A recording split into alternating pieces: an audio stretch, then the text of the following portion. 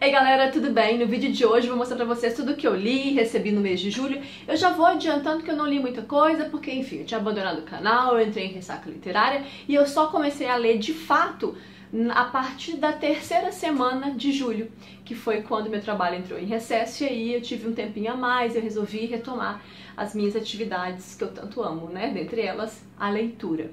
Então não espera muita coisa não, tá bom? Roda a vinheta.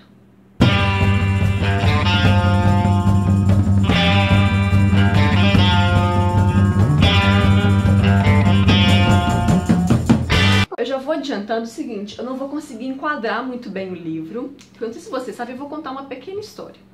As gravações aqui do canal são feitas pelo meu celular, então assim, o que, que eu fazia? Vou contar um segredo.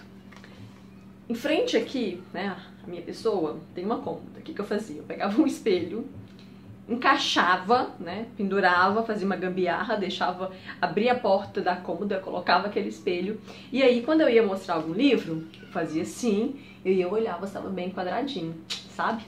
Só que aí que tá, no dia 22 de julho eu fui gravar um vídeo, foi meu aniversário, tá? Dia do meu aniversário.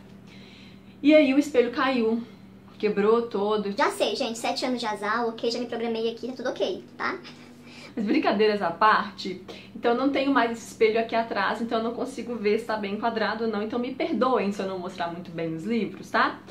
Eu vou começar falando do, de um livro que eu concluí a leitura no mês de julho, que foi O Perfume da Rosa, que é esse livrinho aqui, então quem me acompanha nas redes sociais já sabe do que se trata, mas eu vou dizer pra vocês. Esse aqui é um livrinho, deixa eu até mostrar aqui, ele vem, tem até um marcadorzinho aqui. Também não vou conseguir enquadrar, mas ok, tá? Vou tentar resolver isso, gente. E esse livrinho aqui, ele tem, deixa eu ver quantas mensagens. 42 mensagens reflexivas, então são mensagens curtas. O ideal é ler uma delas por dia, sabe? Então são mensagens de reflexões e, e elas são bem interessantes. É, são mensagens espíritas. A Alda Maria, que foi quem escreveu esse livro, é uma pessoa muito bacana, eu tive o privilégio de conhecê-la e participar de uma palestra dela, então foi muito legal poder adquirir esse livro. Ele tem até. Deixa eu mostrar pra vocês. Se eu vou conseguir enquadrar bem, mas enfim.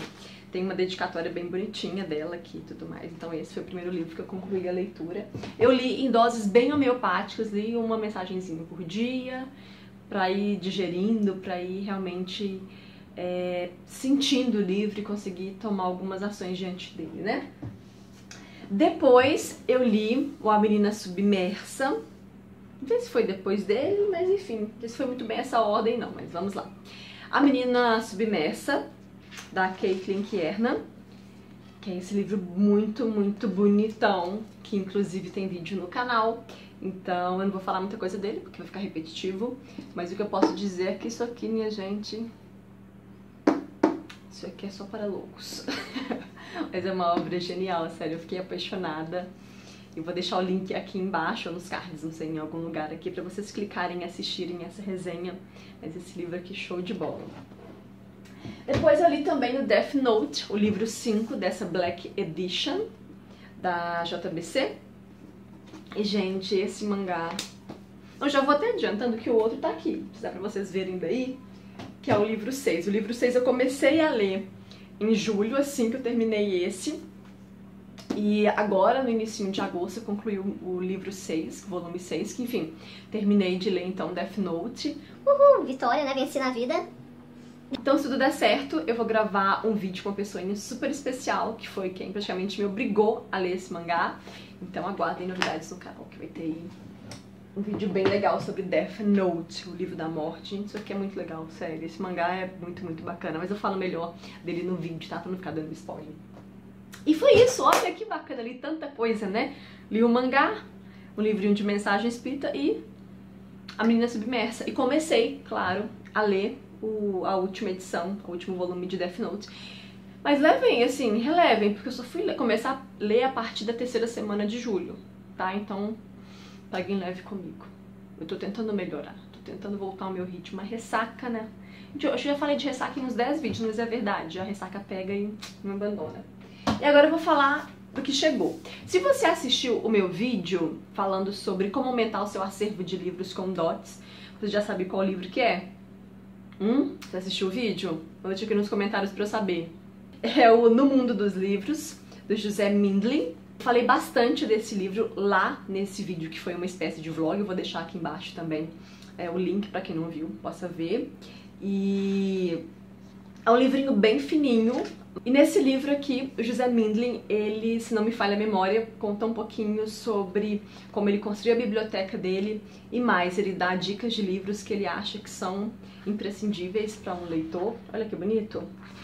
Inclusive, assim, eu não li ainda, tá? Mas a Nath do Redemoinhando acabou me falando que o José Mindlin, ele doou toda a biblioteca dele para a USP. Hum, se não me engano, foi isso mesmo, ele doou para a USP. Então eu tô bem curiosa pra ler e eu queria meio que fazer um projetinho, assim, eu sou a louca dos projetos, eu quero fazer todos os projetos do mundo e acabo não fazendo nenhum. Mas eu queria fazer um projetinho, porque ele, como ele cita várias obras importantíssimas, eu queria é, ler todas que eu ainda não li, sabe? Então vamos ver se vai funcionar ou não. É um livrinho super fininho, dá pra ler super rápido, então eu não pretendo adiar muito essa leitura, não. Lembrando que esse livro eu não gastei nem um centavo pra poder tê-lo, né? Foi naquela coisa de troca de dots. E o próximo livro e último que eu vou mostrar é o Loney, do Andrew Michael Hurley. Gente, essa capa é muito bonita. E ela tem, assim, meio que um verniz localizado. E tem uma textura muito gostosinha, sabe? Nesses raminhos aqui. E esse livro aqui, quem me deu foram os meus amigos lindos, Bruno e B, meus amores. Eles me deram de presente de aniversário. E aí, olha que bonito. Eu vou até vou mostrar antes aqui. Veio com esse marcador super, super bonito. E aí eles me disseram que, olha só essa jacket, tá então é uma jacketzinha. Eles me disseram que é lançamento. Comecei a ver algumas coisas agora sobre alguns comentários, né, a respeito do livro, mas confesso que eu não sei nada, não li nada, nada, nada. Então eu vou ler realmente nas escuras e sem saber nada, que eu acho ótimo. Capa dura, muito, eu achei esse livro muito, muito bonito, muito caprichado, sabe? Olha aqui a folha de guarda. Eu tô achando uma pena não conseguir focar pra vocês, gente, fazer uma... mostrar direitinho. Olha só. Ah, gente, esses livros que tem jacket, que tem capa dura, que tem essas folhinhas... Ai, aquele cheirinho, sabe, de livro novo, quem não gosta. Então tá super bonito, também quero muito ler em breve. E se vocês já leram algum desses livros aqui, deixem nos comentários pra gente poder trocar uma ideia, conversar, que é sempre bom, não é verdade? É isso. Eu não li tanta coisa também, não tem muita coisa porque eu tô naquele projetinho de 10 mais 1, vocês sabem que eu não tô comprando livro. Eu não tenho lido muitos livros também ultimamente, o que é uma pena. Toda chora. Mas tá muito ok, eu acho que tô voltando às minhas leituras. E é isso. Espero que vocês tenham gostado do vídeo. Se você gostou, não esquece de avaliar, é, compartilhar com seus amigos, deixar aqui embaixo o que você achou. Um beijo e até a próxima. Tchau!